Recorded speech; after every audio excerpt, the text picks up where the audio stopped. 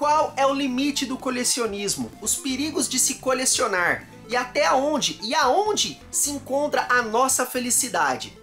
Olá meus amigos, meu nome é Diego Ramires, eu sou o Colecionador. Se você é novo aqui no canal, já se inscreva, deixa o seu like, que hoje a gente vai falar um pouquinho sobre a saúde mental colecionar videogames. E esse tópico também se encaixa entre outras etapas da sua vida, outros termos de colecionismo. Então se você coleciona tampinha de garrafa, caixa de papelão, é, carrinho, moeda, enfim, entre outros tipos de colecionismo, esse vídeo aqui é para você, tá? E é claro, né, também para muitos entusiastas que pensam em entrar no mundo do colecionismo. A primeira dica que eu dou, se você pensa em entrar no mundo do colecionismo, não entre, né? Porque depois desse vídeo você vai ter uma outra visão.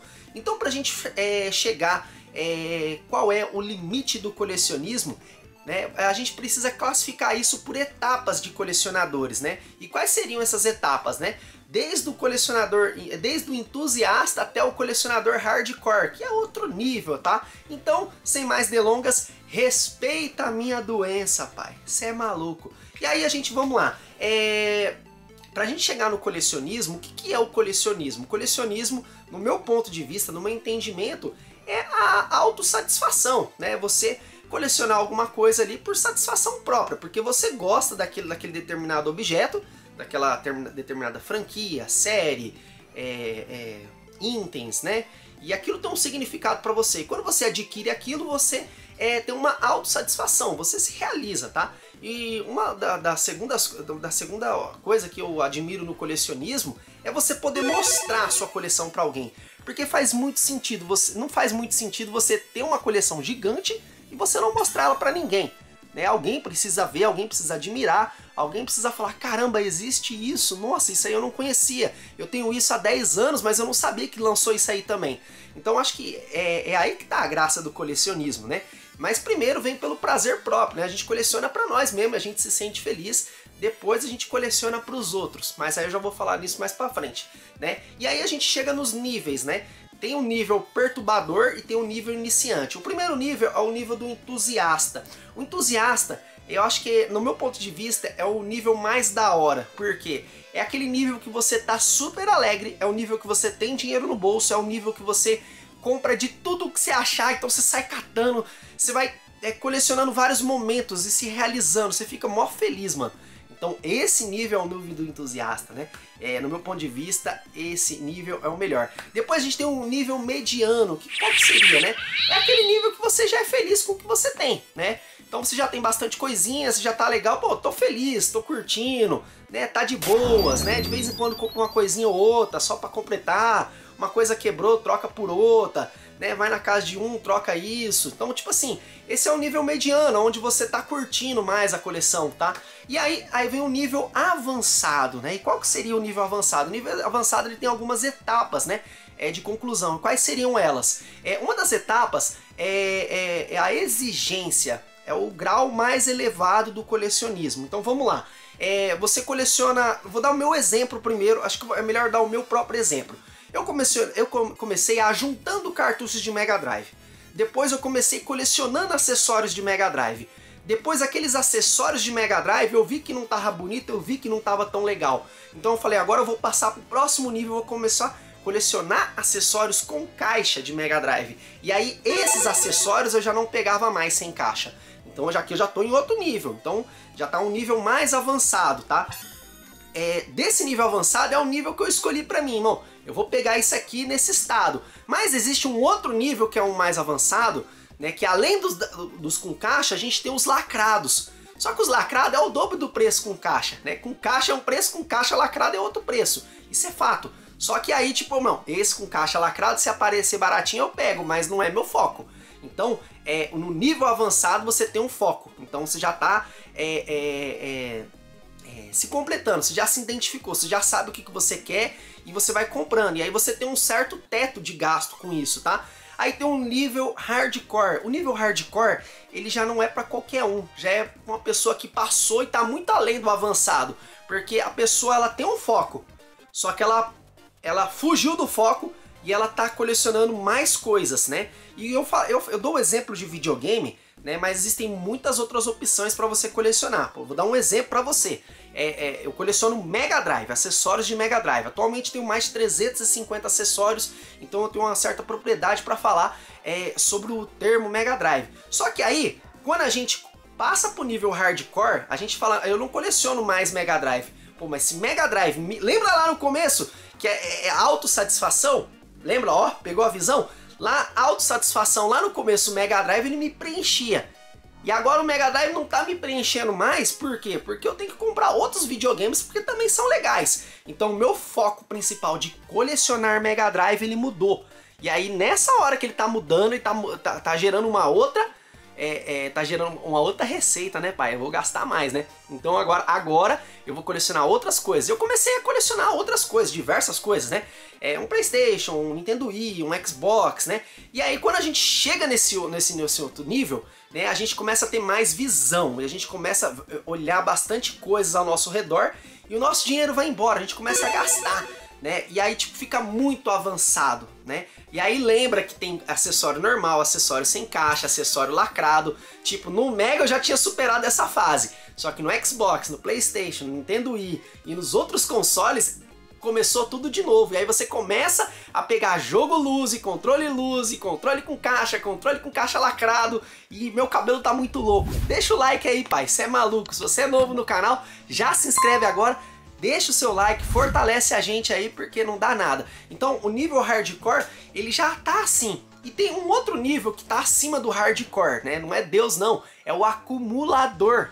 Mano, o acumulador, ele tem muita coisa e não vai usufruir nada. Ele só tá ali ajuntando ali, preocupado com as outras coisas. Então é um estado que você não pode chegar ao nível de acumulador, né? Porque acumulador visa mais dinheiro, acumulador pensa mais em ganho, mais em futuro né? E o colecionador, ele é a satisfação própria e é claro, ele também vai usufruir de uma coisa ou outra que ele tem, não vai conseguir usufruir de tudo. Tem coisas ali atrás ali que já tem dois anos, três anos que eu não abro para mexer, para jogar, né? Mas é devido à grande quantidade, né? Então a gente já está se tornando um colecionador mais hardcore, quando a gente tem muita coisa, né? É, é... E tem também a questão da renda, tá? É, eu deixei tudo anotadinho aqui, ó, o céu é o limite aqui, ó. Aí eu te pergunto, é, qual que é o limite do colecionismo? Agora que eu já falei para você dos níveis, você já tem, você, você aí em casa, você já deve é, ter percebido, né, que você se encaixou em algum desses níveis. Se você é um entusiasta, se você já tem o que você quer, é, se já tem o que você quer para você tá bom, se você já é um acumulador, se você tem bastante coisa, está preocupado com mais ainda, se você está usufruindo ou não né? E meu cabelo ainda continua indo. Quais são os perigos de colecionar? Isso é um ponto que poucas pessoas falam, né? Muitas pessoas que colecionam não comentam isso, tá? Mas o que, que a gente tem? A gente tem a, a, a dependência financeira. A gente gasta todo o dinheiro que a gente ganha só nisso, tá? Não vou dizer que isso é ruim, mas colecionismo é um estilo de vida, tá ligado? Tem gente que trabalha a semana toda, final de semana vai para um barzinho beber colecionador ele não vive desse rolê do barzinho, de ir lá beber, de sair de balada. É um estilo de vida colecionar, né? Mas ele precisa também ir pro barzinho, dar rolê, balada, sair com os amigos, né? Então tem que ter um certo equilíbrio, tá? É... Falta de tempo, tanto para família como para é, família, para amigos, né? O colecionador ele acaba é, focando muito na sua coleção e algumas outras coisas importantes acabam ficando de lado. Então isso é, é, é um ponto negativo do colecionismo, tá? É exclusão social, né? Então, por exemplo, às vezes o cara fica, o cara que é colecionador, os gamers, né? A gente tem que falar a verdade, né? Vai doer, né, pai? Mas os gamers, eles são muito isolados.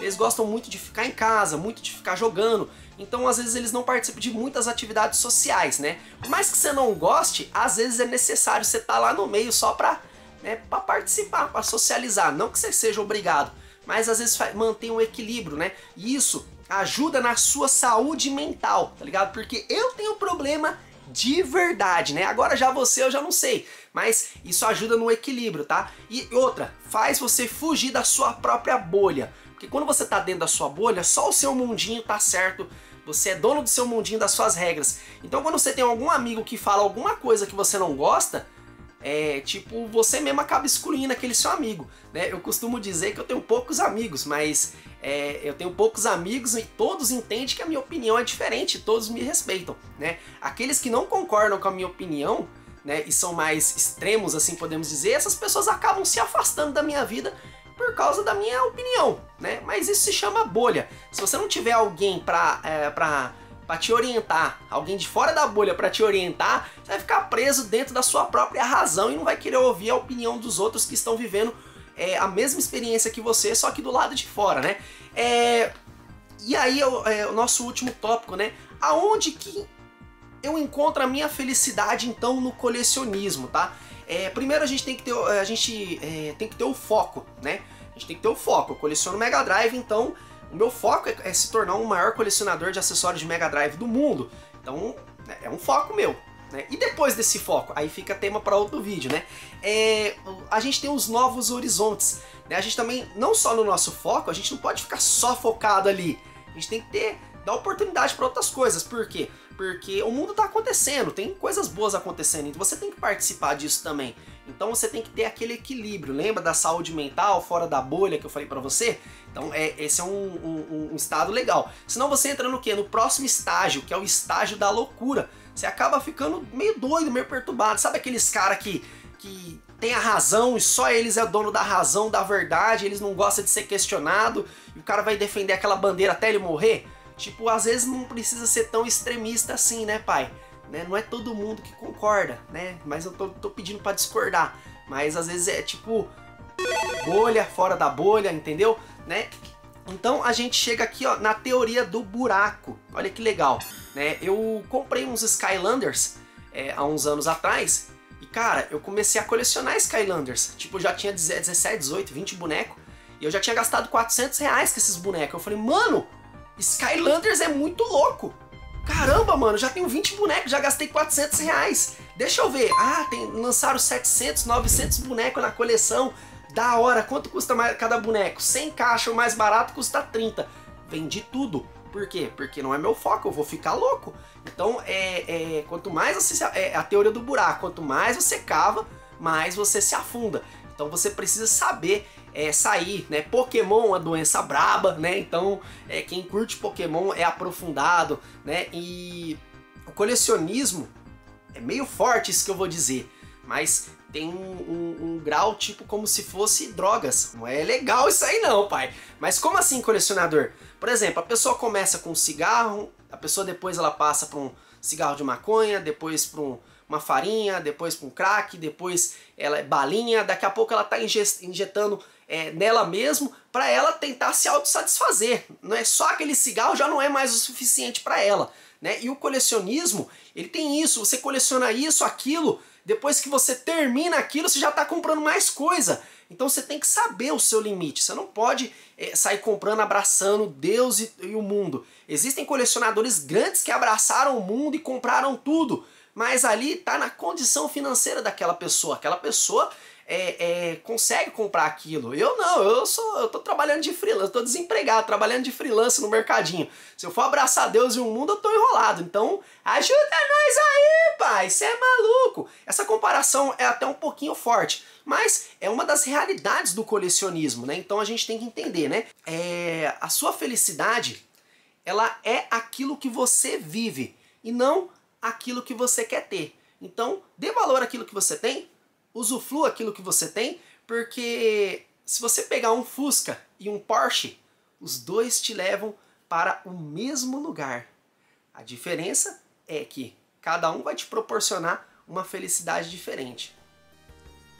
Para mais colecionismo de qualidade como esse, considere se tornar um membro do canal ou então ajude agora mesmo com o Pix, o colecionador. Mas ajuda nós aí, pai! Veja também os últimos vídeos do canal, os cards estão na tela. Um muito obrigado e que Deus dê saúde a todos!